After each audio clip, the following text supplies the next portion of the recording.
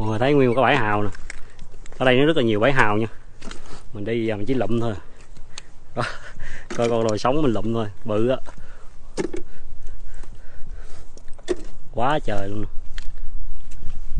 Đây nè mình thấy đã không? Rất là bự luôn á con này nè. Năng.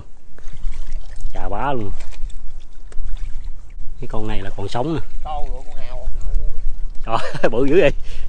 Đã dữ vậy rất là đã luôn nha mọi người. À, bây giờ để uh, nghĩa tắt cái video cái máy quay á thì nghĩa bắt uh, hào ha. Bắt xong hết rồi nghĩa quay cho mọi người coi.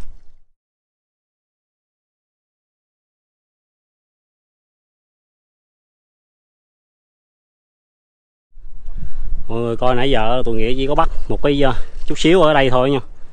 Mà bắt còn không hết nữa rất là nhiều luôn á. Đây nè mới bắt một chút xíu là nửa cái thùng củ lờ rồi đó. Cái củ lờ này củ lờ lớn nha mọi người. Nó lụm không à. mình lụm ra là mình à, mình đập ra mấy con nào cái vỏ không thì mình đập ra thôi. Con nó như chết rồi. Nó khô cái vỏ này là nó chín rồi. Giờ để tôi, bây giờ để tôi à, nghĩa mở ra cho mọi người coi cái thịt ha. Ở trong đó như thế nào nha. Mấy con hào mọi người coi nè. Nướng ra cái thịt nữa nè rất là mập luôn á nha. Không khác gì con hào mình mua đâu á. Con hào á mọi người à, nghĩ ăn với cái sốt này nè. Rất là ngon luôn á. Mình nhìn thấy cái hào nó mập không? Quá đã luôn ha. Giờ thì à, xin mời mọi người nha. Uhm.